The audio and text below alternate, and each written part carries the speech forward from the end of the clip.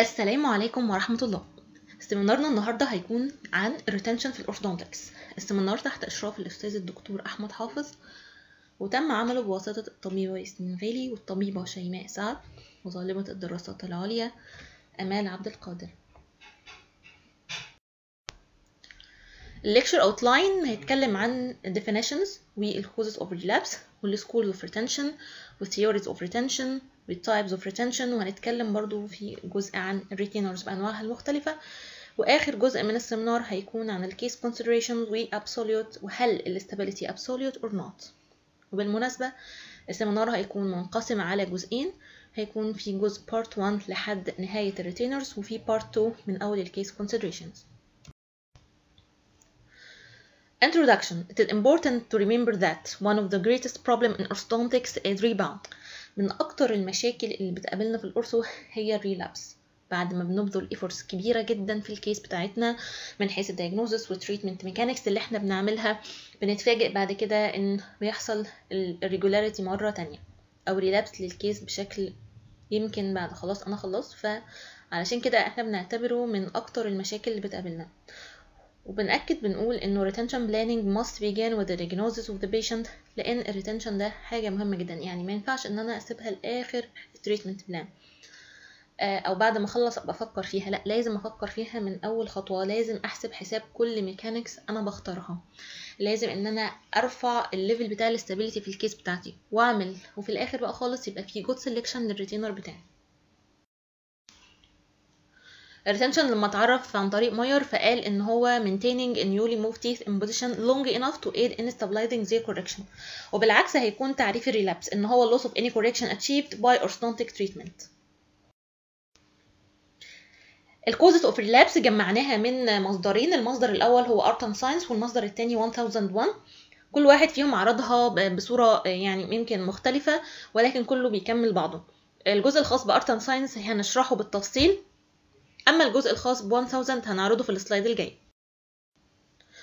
1000 لما اتكلم عن أسباب ال relapse هو شمل الأخطاء من أول خطوة في الحالة من أول ما بستلم الحالة من أول ال diagnosis لحد آخر خطوة خالص. يعني مثلا لو في incorrect diagnosis incorrect space closure insufficient rotation correction lack of root parallelism incorrect retention methodology أو أي يعني أي خطأ في الحالة من اول خالص للنهاية لحد حتى وأنا بعمل bonding ال fixed retainer لأي أي error في الموضوع ده أو ما اتعملش بشكل كويس هيعرضني لل relapse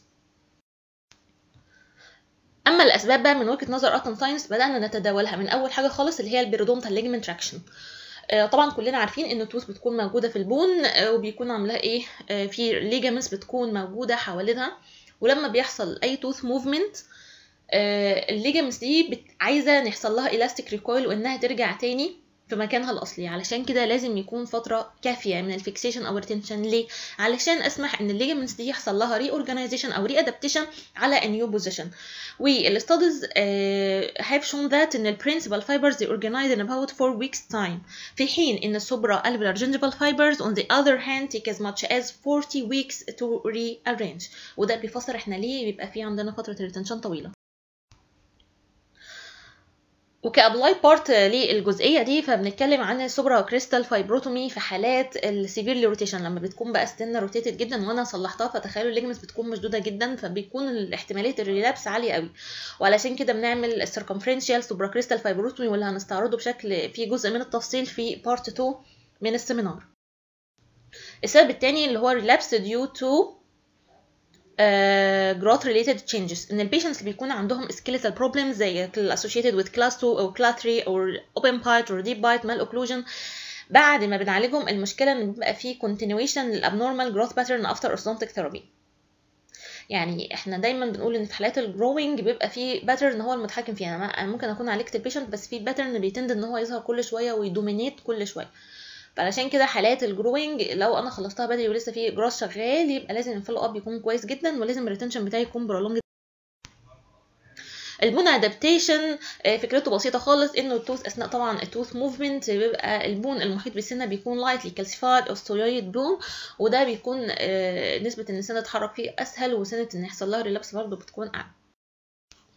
ال muscular forces واللي يمكن آه، مهمة جدا إن إحنا نأكد عليها في الكلام لأن إحنا مش بنتعامل مع dentition فقط إحنا بنتعامل مع zone كاملة. آه، في عندنا dentition في عندنا muscles لازم إن ال dentition دي تكون في zone of balance يبقى فيها harmonization لل balance من جميع النواحي علشان ما يحصلش relapse يعني إحنا في عندنا ستوش بتعامل معاه و muscles بتعامل معاه في عندنا lips و cheeks و tongue لازم إن أنا أكون في balance و harmony بين كل الحاجات دي. Failure to eliminate the cause وده قاعدة ذهبية في الطب كله إن أنا لو ما شلتش السبب في المشكلة أكيد المشكلة هتفضل ظاهرة بمعنى إن أنا لو عالجت patient مثلا وكان السبب فيها habit وأنا ما تعاملتش مع ال habit فأكيد المشكلة هتقدر إنها تظهر مرة تانية. Role of third molar وارتن ساينس كان شايف انه في pressure exerted by erupting third molar is believed to cause late anterior crowding وده هيعرضنا لل relapse في حين ان الدراسات الاخيره و according لاخر systematic review اترفع سنه 2014 اللي كان شايف لا انه يعني انه الدراسه شايفه ان third molar extraction to prevent anterior tooth crowding أو postgraduate أو or sorry post orthodontic relapse is not justified up till now زائد إن وجدوا إن في حالات كمان بيكون فيها congenitally missed molars ومع ذلك بيحصل late anterior crowding ف... فبيكون السبب الأكثر منطقية أو التفسير للحالة دي هو late anterior growth late mandibular growth. role of occlusion أكيد ال occlusion مهم جدا في ال stability بتاعة ال case وأكيد لو حصل أي مشاكل من في ال occlusion من لو في مثلا clenching أو grinding أو nail biting أو lip biting habits أو لو أنا قفلت ال case بتاعتي وال occlusion بتاعي مش كويس هيعرضني ل relapse schools schools of retention في عندنا أربعة schools بيفسروا retention نبدأ بأول school occlusal school تتكلم according to Kingsley شايف إن proper occlusion هو ال key factor in determining the stability of a newly moved teeth apical apical base school آه لما جاء أكسل لاندستروم سنة 1920 في منتصفها تقريبا من الفترة الحقبة دي وشايف إن الأبيكال بيز مهمة جدا جاء بعده ماكولي وسجلت that إن الانتركناين with الانترمولر width should be maintained as originally presented to minimize retention problems ولما جاء بعدهم نانسي وأكد إن ال arch length may be permanently increased only to a limited extent. Mandibular incisor school كانت according to Greaves Cheese اللي suggested that the post-treatment stability was increased when mandibular incisors were placed uh, upright or slightly reclined over the basal bone. Musculature school according to Rogers اللي كان شايف إن لازم يكون عندنا high consideration to the necessity of establishing proper muscular pattern or patterns. retention retention theories theory number one teeth that have been moved tend to return to their former position uh, with regard to the reason most clinicians agree that the tooth should be held in their corrected position for some time after changes are made in their position theory number two elimination of the cause of malocclusion will prevent recurrence وده اللي قلناه بالتفصيل في uh, ال causes of relapse Theory number three, malocclusion should be overcorrected. A common practice of many orthodontists to overcorrect class 2 malocclusion into an edge-to-edge incisor relationship. Theory number four, proper occlusion is an important factor in holding teeth in their corrected position. وده اللي برضو اتكلمنا عنه أهمية الأوكلوجن وإن أنا أحقق proper occlusion بيساعدني جدا في الاستابيليتي بتاعة الكيس. Theory number five bone and adjacent tissue must be allowed to reorganize around the newly positioned teeth وده برضو اللي إحنا اتكلمنا عنه في أول سبب من أسباب الريلابس بخصوص البريدونتال ligament traction والبون supporting. Theory number six if the lower incisor are placed over the basal bone they are more likely to remain in good alignment وبخصوص lower incisor في يمكن هنعرضها بتفصيل جدا والتفصيل بشكل مفصل في part 2 إيه هي الكرايتيريا اللي هتوصل لي اللور incisor انها تكون more stable Theory number seven corrections carried out during periods of growth are less likely to relapse لأن طبعا أكيد ال early diagnosis و treatment planning appear to offer several advantages with regard to long-term stability لأن أنا لما ببدا في حاله الجروث فانا كده بمنع البروجريسيف ريفرسبل تيشو أو البوني تشينز وبقدر ان أنا اعمل ماكسمايزنج لليوز اوف الجروث اند ديفلوبمنت with concomitant tooth eruption وبسمح بحاجات كتير Theory number 8 بتتكلم عن الارش form particularly mandibular arch can't be permanently altered with appliance therapy when treatment should be directed toward maintaining the arch form presented by malocclusion as most as possible وماكولي سنة 1944 لاحظ إن أو stated in since these two mandibular dimensions molar width والcanine width are of such an uncompromising nature one might establish them as fixed quantities and build arches around them Theory number 9 the further the teeth Theory number 9 the further the teeth have been moved the lesser the risk of relapse the further the tooth have been moved the lesser the risk of returning into uh, the original position Theory number theory number eight: Many treated malocclusion require permanent retaining device. The theorem was subsequently added by Moyers. Clinical applications of retention. Retention planning was divided into three categories: limited and moderate and permanent أو semi-permanent. Limited retention أول مثال بنضربه هو anterior cross bite when adequate overbite have been established. تاني مثال هو posterior cross bite when axial inclination of posterior teeth remain reasonable after corrective procedure have been completed. تالت مثال هو dentition that have been treated by serial extraction with percentage of complete satisfaction secondary to extraction and autonomous eruption alone is typically rather low and depends on the degree of perfection desired by the patient and orthodontist. وآخر مثال هو high canine extraction cases. Moderate retention. Class 1 non-extraction cases characterized by protrusion and spacing of maxillary incisors. Class 1 أو Class 2 extraction cases, especially true in extraction cases in that the maxillary incisor can be retracted so far to be unrestrained by lip or to impinge on the space occupied by the tongue before treatment. C. Corrected deep overbite in class 1 or class 2 malocclusion usually require retention in a vertical plane. وعلشان كده في bite plane on uh, maxillary retainer is desirable. Bite plane should be worn continuously for perhaps the first several months including while the patient is eating. D. Early correction of rotated teeth to their normal position perhaps before root formation have been completed.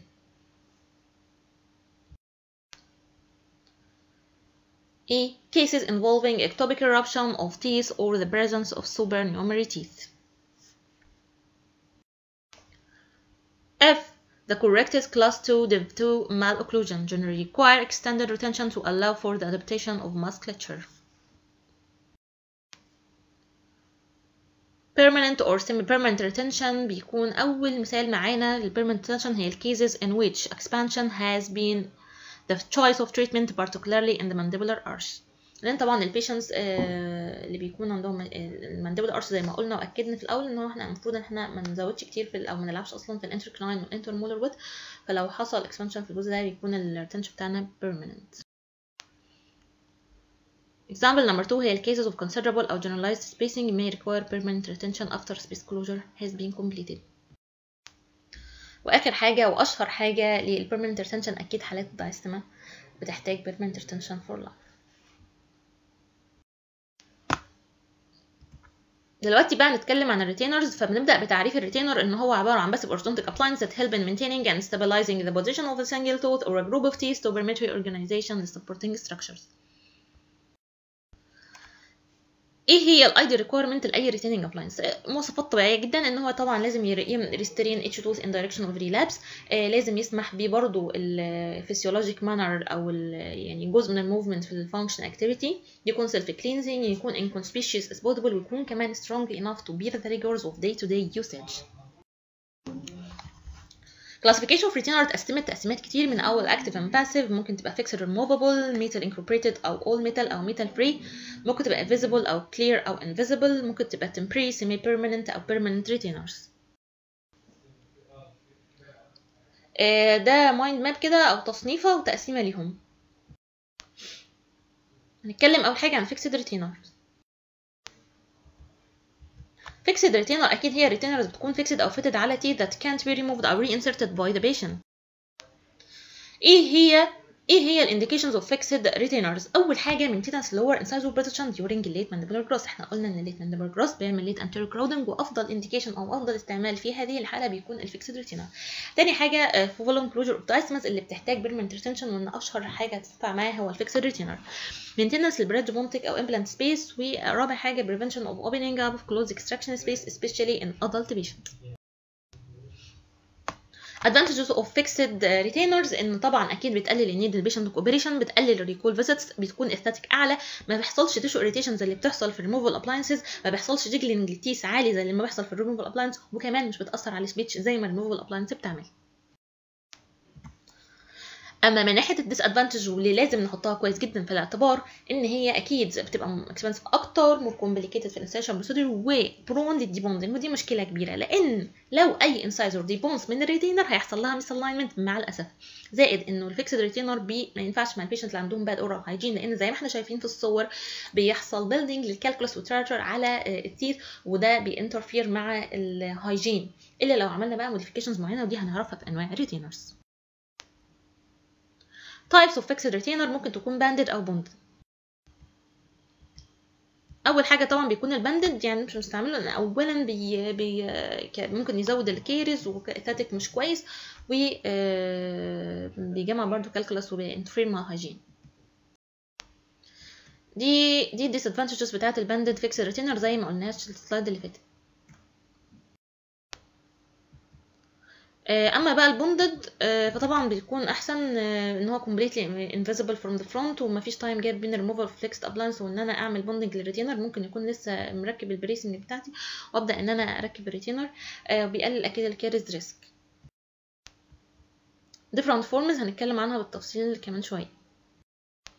أول form first form هو ال multi strand أو twist flex retainer من اسمه. multi strand يعني أكتر من strand من ال wire بيكونوا braided against each other زي ما الصورة مبينة. وكمان آه اللي نعرفه برضو إن ال flexible wire بيكون heat treated أو dead soft علشان يمنع ال shape memory أو يشيلها أصلا. فأقدر إن أنا تيرمينال تيس مو فيشل سوري في لو بوندد لينجوال ريتينر زي ما إحنا شايفين في الصورة بيكون على شكل آه حرف في في دي موديفيكيشن اتعملت مخصوص عشان حتة الاورال هايجين وأقدر إن البيشنت يستخدم الفلوس بشكل أسهل بكتير.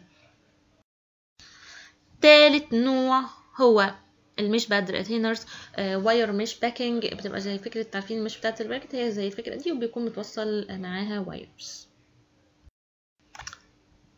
fiber reinforced retainers system use glass fiber from woven fiber glass fabric أو fiber bond Beak manufactured fixed retainer the new type و digitally manufactured and can now be bonded on the tooth ومن مميزاته الخطيرة جدا ان هو strong و durable و tooth colored و biocompatible and more anatomically adapted retainer دي صور تانية للبيك. تعالوا بقى نتكلم عن شوية clinical بقى إزاي هنثبت الطرق المختلفة لتثبيت ال fixed retainer بتاعنا. أول طريقة إحنا عارفين ال separator هنستخدمها نحطها ما بين ال teeth بالشكل ده وهنبدأ إن إحنا نحط ال retainer ونثبته ونحط ال composite ونعمل curing تاني طريقة وطريقة ال floss بنعديه وفي فيديو مفصل للطريقة دي. اهو ده دلوقتي الفيديو. نشوفه كده مع بعض. Now. بدأ ان إحنا نحط ال floss أهو الأول نعديه من ال contact. بعد كده حطينا ال retainer بدأنا إن إحنا إيه نعدي ال floss مرة تانية من بره. لحد ما وصلنا. للشكل ده. هقدر بقى إن أنا أعمل ال composite بتاعي.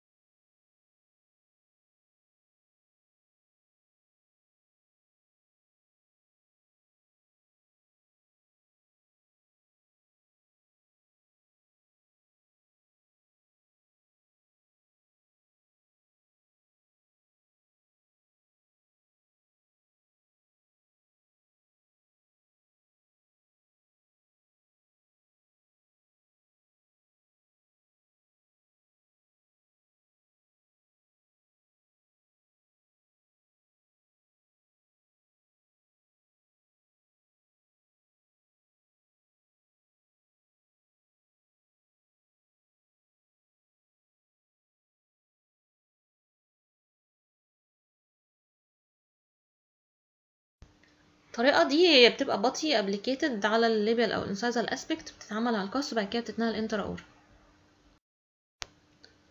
الطريقة دي بنستخدم الديورلي اكريليك فور دايركت بوندنج الطريقة دي بولي ايثيلين ثيرموبلاستيك بليت فور اندايركت بوندنج الطريقة دي بتستخدم الواكس. اتكلم بقى شوية عن الريموفال ابلاينسز نبدأ كلامنا ب Hawley اللي هو most commonly used retainer اللي اتعمل عن طريق Charles Hawley سنة 1920 إيه هي ال advantages آه طبعا أقدر إن أنا أستعمل the floss براحتي مش بيعمل caries أو periodontal problem زي اللي بيحصل في ال fixed retainer excellent long term أقدر إن أنا أزود كمان عليه حاجات um spring fingers كده. آه حالات ال deep bite patient أحط anterior bite plane حالات ال open bite patient أحط posterior bite block أقدر إن أنا أتعامل معاه وبقدر إن أنا أعدل فيه براحتي. Disadvantages إن هو laboratory time consuming وال cross over wire اللي بيعدي في contact area ما بين السنتين ممكن يفتح ال extraction space وعلشان كده بنعمل ليه modification هنتكلم عنها. أكيد aesthetic and aesthetic وبيأثر على ال speech شوية. وممكن مع الاستخدام اللون بتاعه يتغير أو ي absorb bad odors أول modification هو ال extraction case اتعمل labial bow soldered ل Adams clasp بحيث إن ما يبقاش فيه cross over wire عشان ما يفتحش ال space بتاع ال extraction تاني حاجة هو ال long labial bow آه ده بيكون بدل ما يكون short labial وال wire معدي من بعد ال canine بين ال canine وال premolar لأ أنا عديته من بعد ال premolar عشان extraction space fitted labial bow عشان يبقى فيه more control على ال anterior teeth وبيعزز ال mechanical retention wrap around retainer ده بيكون ال wire لافف من لحد ال last molar وبيعدي تاني. الانديكيشن بتاعته البرودونتال بريك داون ريكواير سبلنتنج تاتيز توجذر حالات البيشنت اللي عنده إيه كومبرومايزد برودونت فاندر ليندر ده بيستعمل ان البري مولرز والمولرز بتكون اكريليك فري والسيكتور بس هو اللي بيحصل له سيتلينج في الاوكلوجن والريتنشن ويل اونلي بي نيسيسري في الانتيريور سيكتور سرحان أو اول واير ريتينر ده كله بيكون اول ميتال مفيش فيه اكريل خالص آه وده فكره برضو اتعملت عن طريق آه دكتور توشيو هاريما أما دلوقتي هنتكلم عن ال vacuum retainers اللي هي بتبقى easy fabricate وشكلها حلو وال patients بيحبوها بس هي مشكلتها إن ال durability بتاعتها مش عالية زي ال Hawley. آه ده جزء material كده شوية ال material بتاعتهم بتتعمل من polyethylene copolymer أو polypropylene copolymer. ال polyethylene بتتفوق على ال polypropylene في كل حاجة إن أقدر إن أنا أزود عليها اكريل وأعمل عليها modification aesthetic أحسن وال wear resistance أعلى بس مشكلتها إنها less durable و flexible الاسكس آه اللي هي ده البراند نيم الحاجات بتتعمل من فاكيوم في منه نوعين منه تايب A وفي سي بلس تايب A أقدر اعمل فيه اتاتشمنت وميكانيكال ريتنشن بتاعته كويسه وفي منه سيفرال جيجز آه واقدر اعمل منه كمان لكنان روتين والاستاتيك بتاعه عالي وبيكون سي بلس العكس نبتدي نتكلم عن الاكتيف ريتينر هل الريتينر بتاعي اللي هو قلت في التعريف ان هو بس اورثونتيك ابلاينس أقدر يساعدني ان هو يبقى اكتيف يعني إيه يعني أنا مثلا في ال retention phase اهو حصل معايا شوية irregularities احلها إزاي أه بقدر ان أنا احلها عن طريق أه ان أنا استعمل retainer ده ك active retainer في انواع بتتعمل أصلا من الأول active This term usually is reserved for two specific situations realignment irregular incisor spring aligners و management class 2 class 3 relapse tendencies with modified functional appliances أول حاجة هنا حالات اللي هو ال incisor أنا أخدت impression لل patient وعملت cast وجيت على ال cast ده عملت sawing فكرة ال model وال die وعملت تصحيح لل correction لل incisor position وعملت ال clip-on retainer جيت بقى في ال patient mouth عملت stripping أنا دلوقتي بتكلم stripping في ال retention phase مش بغض النظر إن كنا عملنا في ال treatment ولا لأ. عملت في ال retention نعمل stripping stripping و fluoride application وأنا أحط ال clip-on retainer فيقدر إن هو يظبطها لي. تاني حاجة اللي هي occlusal discrepancies by modified functional appliances as active retainer طبعا بستعمله آه ان ال correction is achieved by restraining the eruption of the maxillary teeth posteriorly and directing the eruption of the mandibular teeth anteriorly آه عندنا كمان أسامة active retainer ده بيكون من الفاكيوم بيتعمل من two layers وبستعمله كactive retainer Uh, spring aligner used to correct and retain uh, minor incisor irregularities such as simple crowding and rotation every lapse of care after orthodontic treatment. Elastic wrap around الريتينر ده has acrylic plate with two buckle uh, steel arms. وبقدر إن أنا أركب الإلاستيك على التو هوكس من قدام. فيقدر إنه يسهل لي حتة إن هو يصلح لي الباودر سمول rebounds اللي حصلت like anterior proclination and space closure. كوريك ده جمع ما بين ثلاث أفكار من circumferential اللي هو الرابر راوند وإن هو سرحان اللي ما كانش فيه أكريل خالص وكمان عمل أخد فكرة من السبرينج الاينر self activating loop ده generate minor tooth movement to close the client spaces. Uh, الكناين تو clip on. ده variant من wrap around. We uh, great advantage that it can be used to around regular incisors if mild crowning has developed after treatment. Memory retainer memoret uh, or passive retainer that become active appliance at the moment relapse occurs due to poor cooperation. A6 ريتينر في ريباوند كيسز بقدر إن أنا برضو ممكن أعمل هول وأعلق البطن. واقدر إن أنا أصلح السمول ريباوند و ان اوردر تو اكسليت الموفمنت وي ماست دو سام ستريبنج اون ذا توز وي وونت تو موف وبكده نكون خلصنا الكلام uh, عن الريتينرز واختتمنا كمان بارت 1 من السيمينار. وهنتكلم في بارت 2 عن الكيس كونسنتريشن وهل الاستابيليتي ابسولوت اور نوت Thank you.